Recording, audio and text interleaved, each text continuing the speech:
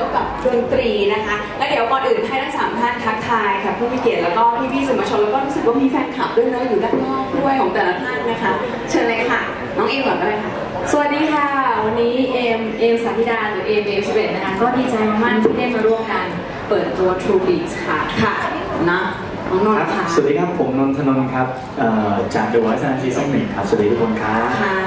บดีเจสาวสวยสุดฮอตของเราค่ะ สวัสดีค่ะดีเจซาร่ากิฟค่ะ ค่ะ เมื่อกี้นี้มาโชว์เปิดด้วย5นาทีตื้นกันทุกคนเลยไม่มีใครหยุดนิ่งเลยนะคะ ถามทั้งสามท่านเลยถึงไลฟ์สไตล์ของเรานะคะ ว่ามีความเกี่ยวข้องหรือว่าเกี่ยวได้ยังไงกับหูฟังบีทบ้างน้องเอ็มก่อนเลยค่ะก็สำหรับเอ็มจริงๆหูฟังเป็นสิ่งที่ติดตัวในกระเป๋าอยู่ทุกวันอยู่แล้วนะคะเพราะว่าไม่ว่าจะเป็นเราซ้อมร้องเพลง หรือเราฟังเพลงเลือกไปโชว์อย่างเงี้ยหูฟังเป็นสิ่งที่ขาดไม่ได้เลยวันไหนที่ออกจากบ้านโดยที่ไม่หูฟังรู้สึกว่าเหมือนเหมือน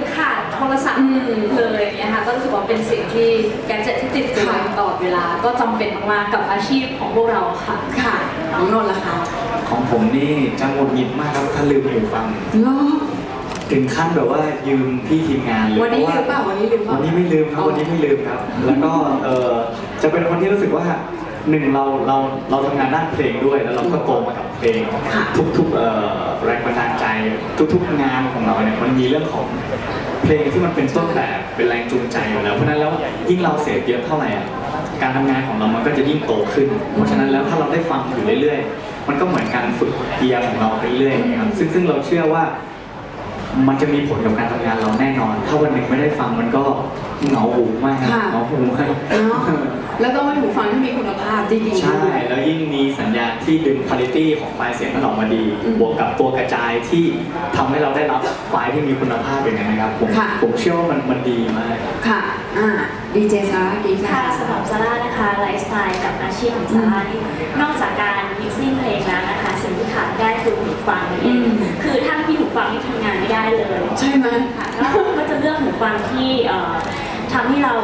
mix เพลงได้ดีแบบคัด sound ได้ดีที่มีคุณภาพค่ะค่ะงั้นถามทั้งสามท่านเช่นกันนะคะว่า Beats เนี่ยทำให้ชีวิตเรา smart ขึ้นยังไงบ้างหรือว่าเพลงเนี่ยมันมีผลอะไรกับชีวิตเราได้บ้าง ก็ส่วนตัวจะเป็นคนชอบฟังแนวฮิปฮอปอะไรอย่างเงี้ยอยู่แล้ว แล้วรู้สึกว่าตึกเลยเนอะใช่ Beats เนี่ยดึง sound bass ออกมาได้ตึกมากๆเลยนะคะแล้วก็สำหรับหูฟัง Beats by Dr. Dre เนี่ยมันไม่ใช่แค่ music มันเป็นแฟชั่นด้วยใช่คนที่ใส่บางคนเพื่อนหนูใส่บางคนไม่ได้เปิดเพลงนะคะแต่เป็นอ c เซสซอมันรี่เป็นอ c เซสซอรี่เป็นแฟชั่นด้วยในในในมุมมองของอ๋อมันเท่ใช่ โดยตัวมันเองอะไรเลยค่ะแล้วพอได้ลองใช้ก็รู้สึกว่า sound มันพอไปฟังอย่างอื่น แล้วมันไม่สนุกเท่าค่ะเราฟัง Beats เนี่ยถ้าคนที่ใช้หูฟังจะไม่ได้ยินเสียงคนข้างนอกเลย มันเหมือนคัดเอาทุกอย่างแล้วอยู่โลกับกภายนอกไปเลยใช่อยู่กับตัวเองจริงๆเนี่ยค่ะก็รู้สึกว่ามันมันเป็นอะไรที่บางทีเราเหนื่อยเหนื่อยจากการทำงาน แล้วก็อยู่กับตัวเองใส่หูฟังมันก็เหมือนไปอีกโลกหนึ่งอยู่อยู่กับเพลงอะไรอย่างเงี้ยค่ะค่ะเหมือนชาร์จแบตให้กับใช่เราด้วยเนาะใช่เลยอืมน้องนนท์นะคะ ผมนี่เพลงน่าจะเป็นเป็นสิ่งที่เคยดึงเราออกมาจากจุดที่แย่ที่สุดของชีวิตนะครับ ซึ่งซึ่งซึ่งซึ่งเป็นธรรมดาที่ไม่ว่าเวลาเราผิดหวังหรือว่าเรามีความสุขเนี่ยผมเชื่อว่าเพลงมันจะบางทีพอเปิดแล้วมันเป็นช่วงเวลาที่เราต้องการเพลงนี้และยิ่งมี คุณภาพของไฟล์เสียงที่เราได้ฟังเนี่ยมันเหมือนมีเพื่อนคนหนึ่งมานั่งคุยกับเราครับค่ะซึ่งซึ่งมันมีผลต่อจิตใจมาก แล้วยิ่งเป็นเป็นหูฟังที่มีเรื่องของดีไซน์เข้ามา แล้วก็ย่านเรียกได้ว่าของบีดเนี่ยย่านเบสเนี่ยกระหึ่มมาก ซึ่งเราลองครั้งแรกเรารู้สึกว่ามันตอบโจทย์ในด้านของแนวดนตรีที่มีเรื่องของเบสหรือว่าอะไรพวกนี้เยอะมาก ซึ่งก็มีความสุขมากครับที่วันนี้ก็บีดได้เข้ามาที่เมืองไทยแล้ว แล้วก็เหมือนกับว่า ได้ดึงได้ดึงคุณภาพอีกย่านหนึ่งออกมา ซึ่งมันเป็นอะไรที่ผมว่ามันตอบโจทย์มากค่ะครับนะดีเจซาร่าค่ะกีอย่างค่ะที่รู้กันนะคะว่าซิกเนเจอร์ของบีเนี่ยสีคือสีแดงอืมซึ่งซาร่าก็เช่นกัน signature ของซาร่าคือผมสีผมสีแดแดงงก็ก็ซาร่าก็จะเลือกหูฟังที่มีคุณภาพ แล้วก็ดีไซน์ที่ค่ะทันสมัย แล้วก็สวยและเข้ากับ look ของตัวเองก็ต้องเป็นสีแดงด้วย ใช่พอใส่ปุ๊บคือมันดู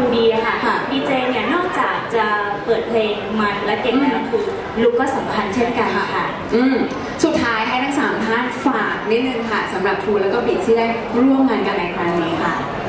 ก็จริงริงๆ True เนี่ยเป็นผู้นำไม่ว่าจะเป็น communication gadget แล้วก็การสื่อสารทุกอย่างนะคะวันนี้ Beats ก็เหมือนกันผู้นำทางด้านเสียงค่ะแล้วสองสองยักษ์ใหญ่สองค่ายนี้รวมกัน รู้สึกว่าเป็นอะไรที่ยิ่งใหญ่มากๆค่ะกับกับคนไทยด้วยใช่